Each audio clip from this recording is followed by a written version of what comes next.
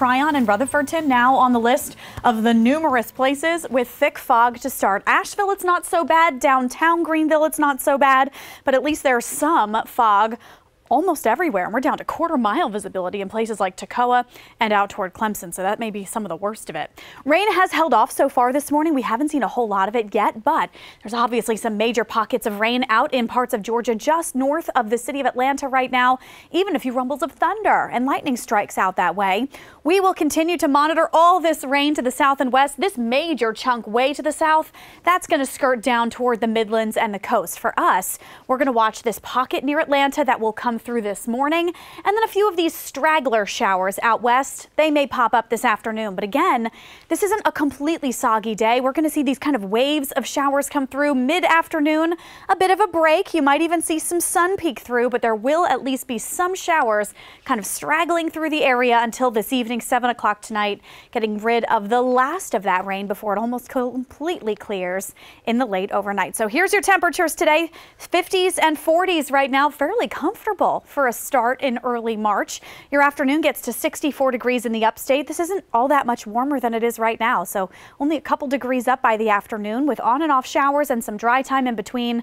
Mountain towns getting to 60 degrees today with spots of rain and maybe a peek of sun every now and then. So better rating today than yesterday, but still only a 5 out of 10 due to the fog now and the rain chance that lingers. Tomorrow's a much nicer day. Look at how it clears out. Even in the morning to midday, you could see plenty of sun. Late afternoon clouds rebuild, but we're not expecting to see rain on Saturday, so you should have a good day to get outside. Sunday, that changes. Showers start to develop around midday. They really take over in the afternoon, and we are looking at a soaker through Sunday evening. But as it all wraps up and starts to clear out on Monday, colder air moves in. We could see a little Tennessee border snow flurry. I don't anticipate any real major system here. It's just going to be a little taste of wintry weather there in the high peaks before it all clears out, and we all see some majorly cold temperatures as we get into the later days of next week. So 64 today with showers, 66 tomorrow with sun, then back to about 60 degrees on Sunday as that next round of rain develops.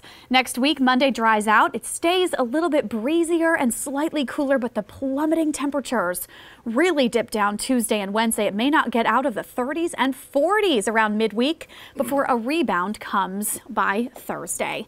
Well, now we want to get to your riding forecast, sponsored by Harley Davidson of Greenville. You want to ride this weekend? Saturday's your day to do it. It'll be milder and dry outside. Great riding conditions tomorrow. Sunday, the afternoon rain's going to get heavy, so I would tuck that bike into the garage.